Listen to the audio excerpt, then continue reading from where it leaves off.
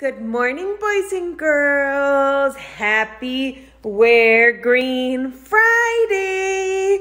Oh my goodness, boys and girls, this was such a fun week um, of Dr. Seuss crazy things, right? Uh, what did we do? Let's see if we remember.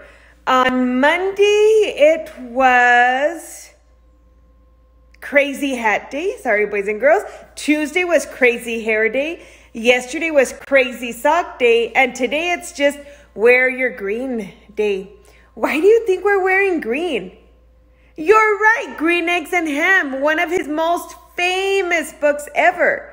Now, are you guys ready for our question today? So, our question for today is Would you rather be a whale? Oh my goodness, they're coming towards us. I wonder if we can touch them. I touched it, boys and girls.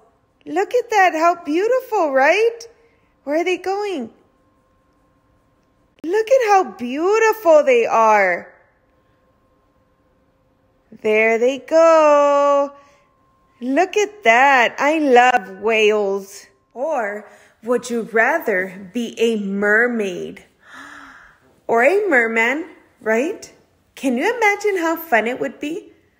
That would be awesome. I would love to be Ariel, the little mermaid. Okay, so again, our words mermaid and whale, they don't rhyme, but in Spanish they do.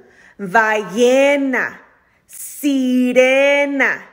A ballena is a whale and a sirena is a mermaid.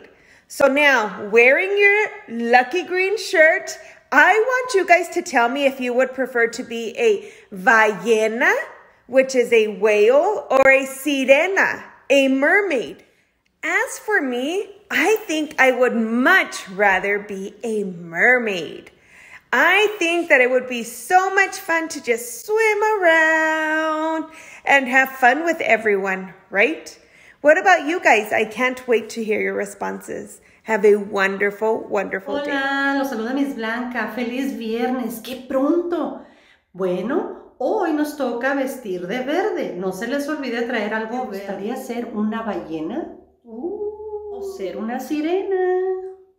A mí me gustaría mejor ser una sirena. ¿Y ustedes qué prefieren? Bueno, sirena y ballena son palabras que riman. Recuerden, y no se les olvide de vestir de verde.